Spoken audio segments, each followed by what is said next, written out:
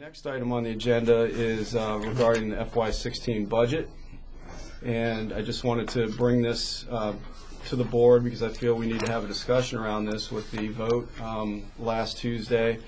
You see the approval of Article 4, which was the Budget Committee's recommended number, which is um, approximately $393,000 less than the than the board, uh, the school board's recommendation.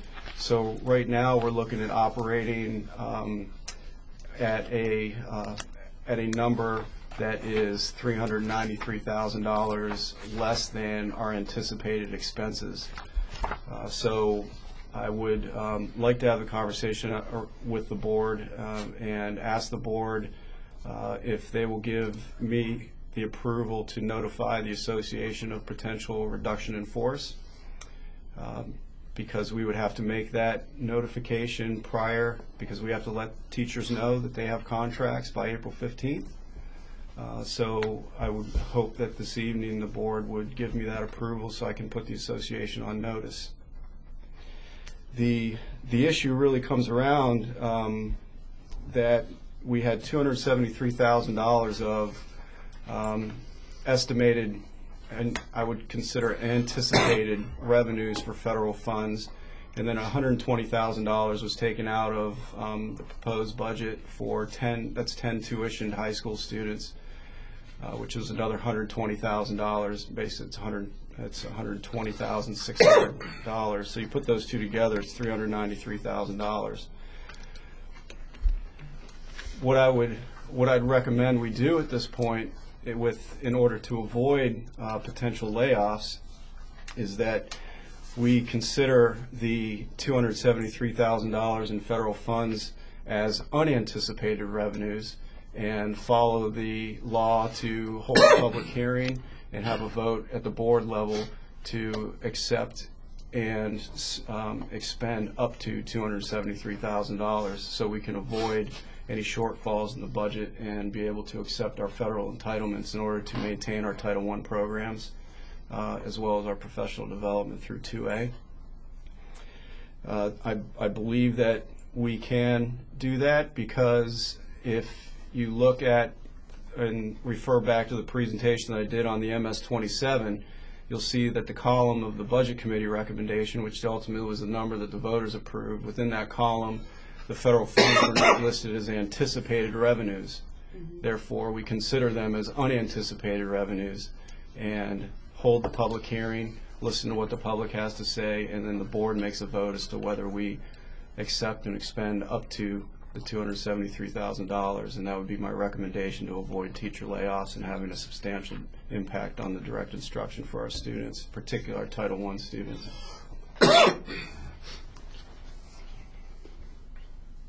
Steve? Um, didn't we go out and expect, uh, expend money for legal services about this whole particular issue? Wasn't this the whole thing with the budget committee? And we, we, like I said, we've already spent funding and the lawyer said, you cannot just, you cannot do with what you just proposed, that we have to put the, um, the uh, federal funding in as revenue. That's correct. And now you want to just ignore that and, No, I'm actually not ignoring it at all. I'm finding a way that we can actually accept and expend those federal funds as unanticipated revenues.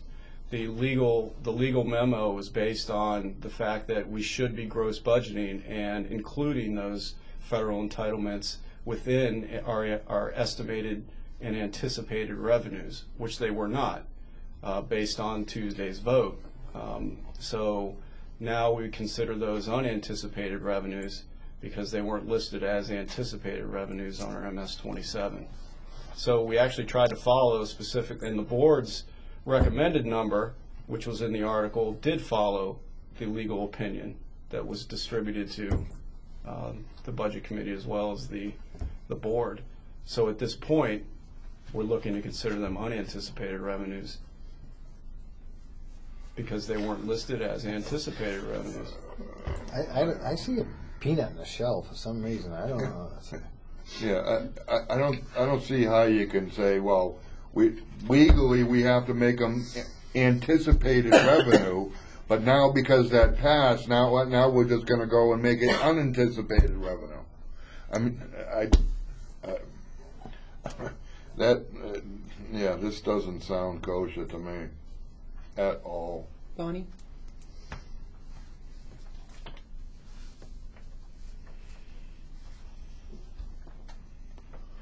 I think it's a lousy option to have to lay off teachers. I, um,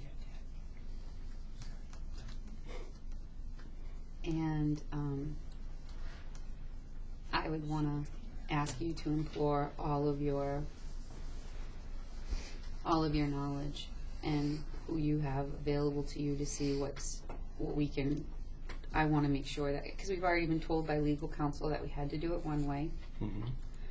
I want to make sure before we make another decision that we're doing it legally and that we're not going to have ramifications from that. So we're gonna spend more money on legal. Well, how do you then then you look I understand what you're saying, but you I don't think we should look to the federal government for anything myself, but well, that's Mr. Three hundred Percy? and ninety-three thousand dollars is a lot of money, and unless we look at you and say, where can we cut it? Without cutting teachers. Yeah. And I did contact legal to get their advice on this. Um, can we do this? And I received the go ahead and do it from legal um, because I questioned it as well. However, I see it as an option in order to not lay off teachers because that is what we will have to do to come up with $393,000.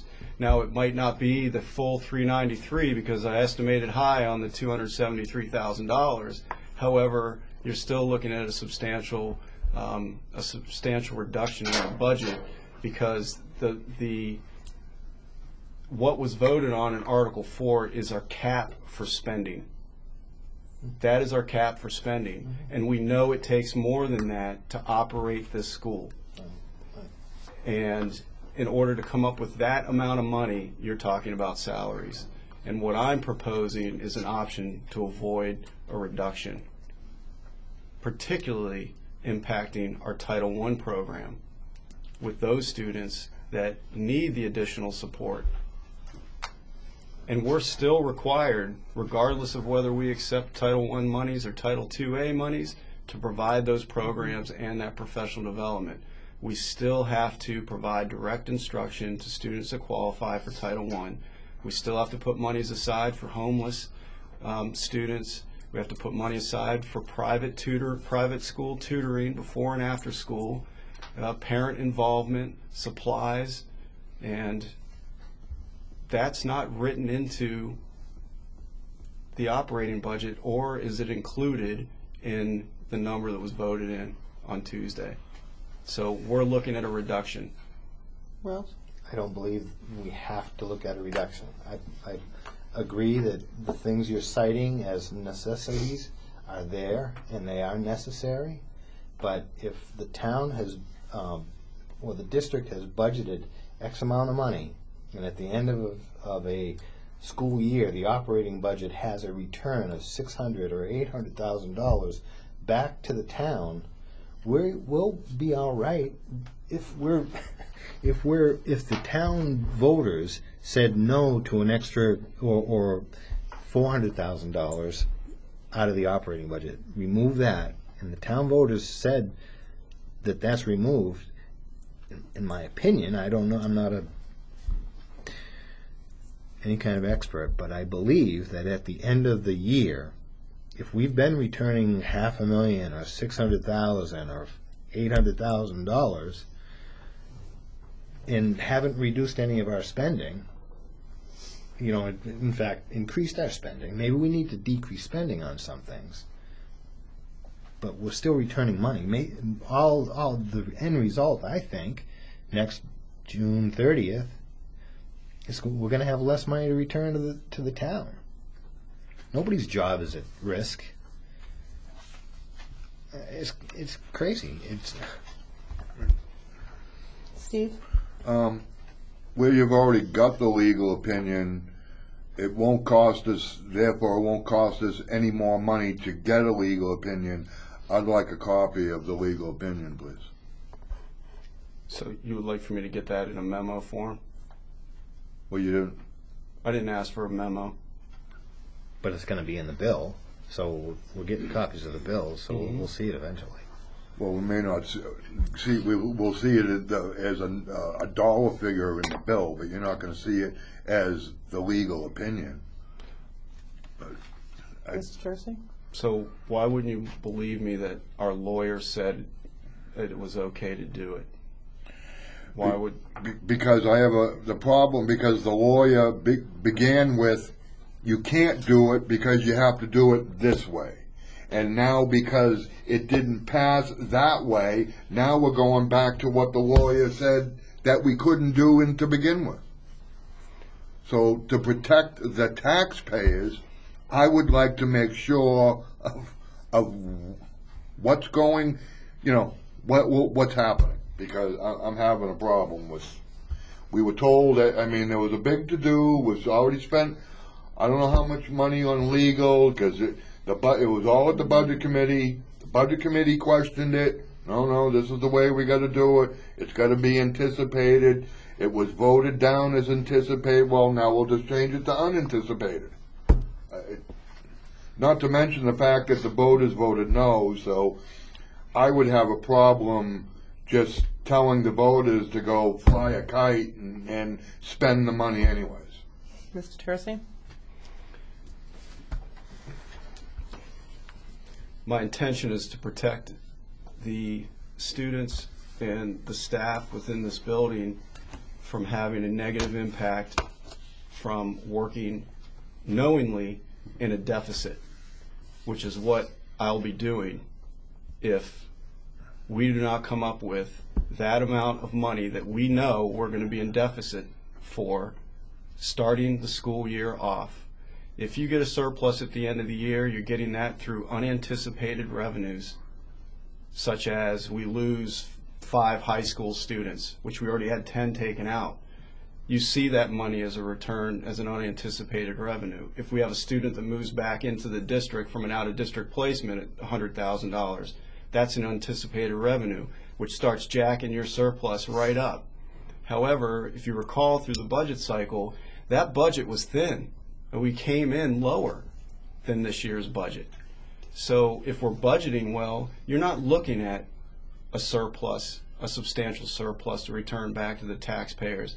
And what I'm looking at right now is an option, a potential solution to make sure that students are not directly impacted by working in a deficit knowingly working in a deficit. And I am not willing to work in a deficit because we should not have to go back to the voters at some point and ask for more monies if we know that we're going to be spending over our budget.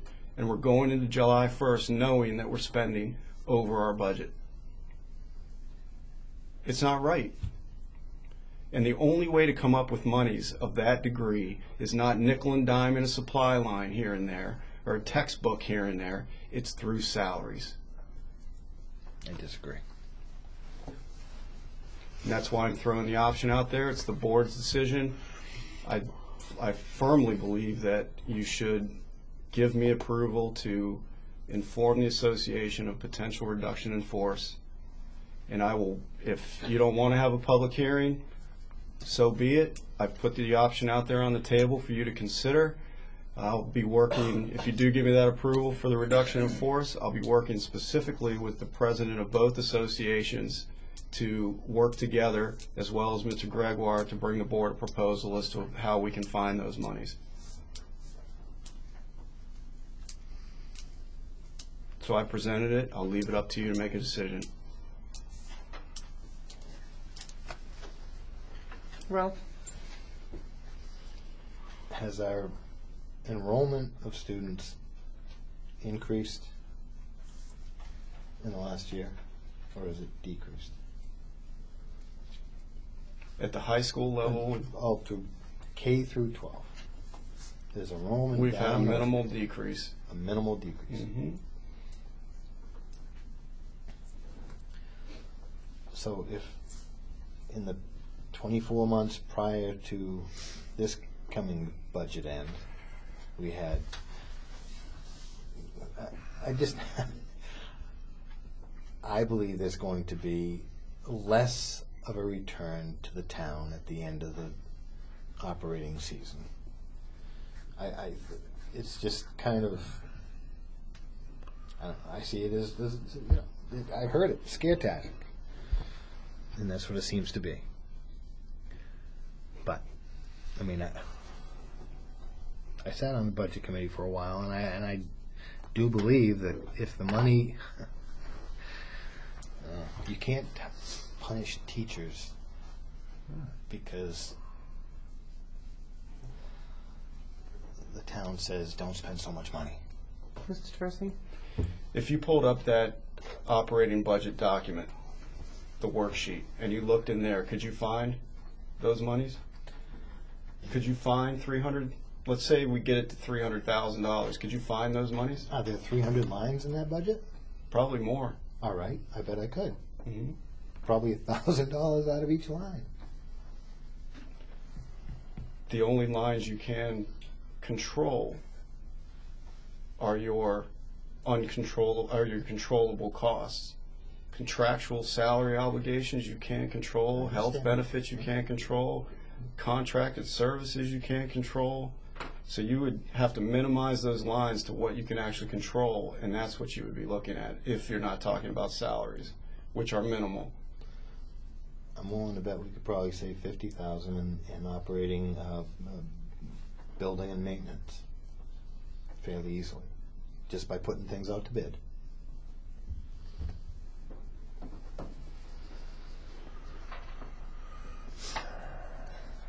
I know it's a drop in the bucket, but it's something. Madam Chair, I expressed my concern and offered solutions. Thank you. Any thoughts? I just don't like the, uh, it seems like a, a threat, you know, oh, I didn't get a hundred, so we're gonna cut jobs. Yeah, exactly. It's It's not a threat. It's our option. It's not a realistic option. I mean, if the teachers are here, they're here for a reason, right? I mean, everybody has a job because they're needed. There's no unnecessary or non-essential jobs in the school building, from what I understand. Mr. Our Title I and our Title IIA funds, the majority of those funds are taken up by two salaried positions. If we are not accepting those federal funds, which make up the 200, 200 plus thousand dollars, there's two positions right there that aren't in our operating budget. That's a reduction in force. But we re- represented to the voters that we are taking. That's gross budgeting. We, we represented to the voters on the, on the ballot that we're taking that money. If we take those monies, then we have to find it in the budget. if we take away those monies. if we don't utilize those monies, okay, if we use those monies, then we're looking at taking those monies out of the operating budget, all of those lines we're referring to. We're capped at, was it eight point eight million dollars? That's what we have approval to spend. We know in our estimates and based on our current staffing that it's above that number. So I don't want to go into July 1st knowing that I don't have the money to pay for our current staffing levels. That's just bad business. Mm-hmm. Mm-hmm. That means starting your fiscal year knowing that you're going to be in debt and you can't pay the people that you hired. which is bad business. And I'm offering a solution. If we get, if I get beat up over it, I get beat up over it. Bottom line, I'm keeping teachers in the building and walk, coming into July 1st with a comfort level that I won't have if we say, oh, we can operate without those monies. So your solution is to say that the federal Title I or Title II-A funds are unanticipated monies. Correct. That's your solution. Because that's how we reported it um, on the Budget Committee recommendation column of the MS twenty-seven that was, that was published, it was displayed, and the number that was voted on was the number at the bottom of that column. It's not listed as anticipated revenues, so we consider them unanticipated revenues, and we move forward. Now I'm starting to see the budget committee's argument. You know, why, so, I, I don't know. I mean, I, Yeah, we have, uh, you need, um, you have to notify them by the fi- April fifteenth, Mhm. so we have time. We have another meeting before then. Correct, and I would have to come to you with a proposal At that next at that next meeting.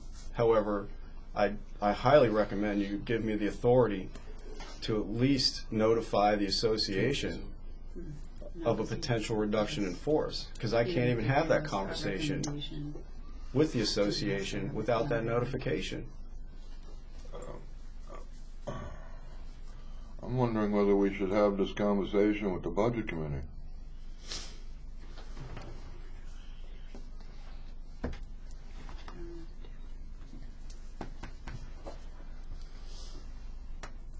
just, uh, I don't know. It's a board decision at this point. can we table this decision until our next, uh, until our first meeting in April? That's what I just sta- asked, I said, stated, but. I mean, I, I, I think might have to work a little bit harder in the, in the time between that first meeting and April fifteenth, but I, I know I'd like to go over the budget lines and see out of those three hundred or plus lines where we could save. And bring it to you. It, it, I think we have the ability to, to sharpen a pencil and, and make some, some, uh, cuts without cutting jobs. If we give you the authority to talk to the association, Michael, does that mean when you come back, you can give us a plan, detailed, Mhm. black and white? Yep. And what, absolutely, that's, that would allow us to at least present a plan um, based on following what our agreement is with the association. Um, I want to get the teachers' input, I want to get the paraprofessionals' input, because this could have an impact on uh, the school in general, so I want to work together to develop a plan, present that plan to the board at our first meeting in April. Without the authorization to uh, notify for potential RIF, it's out of the question, because you won't have enough time between the, our first meeting in April 15th to determine what that would look like. I just want to cover our bases with what we agreed on with the associations.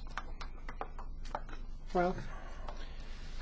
With the threat of a RIF, what, how would that ripple throughout the building? How many people would stack on? hey, hey, hey, hey, buddy, how you doing? And you know what that would do to the morale in the building? It's already It's- out there. It's It's on already out there. camera. They're It's on sitting public. here. These people are sitting here. When, It's- when it's- people know it's that amount of money, Ralph, They know. it's salaries. Doesn't have to be salaries. It's a plan, I think we should go ahead with it. Uh, I, I make a motion to give Michael the authority to begin speaking to the association so we can get a firm, black and white, this is what we have for a plan. I second it. All in favor? Aye. Aye. I, With a plan, I mean, I just don't want it to be a threat. Opposed? I'll vote in the affirmative. Yeah, me too.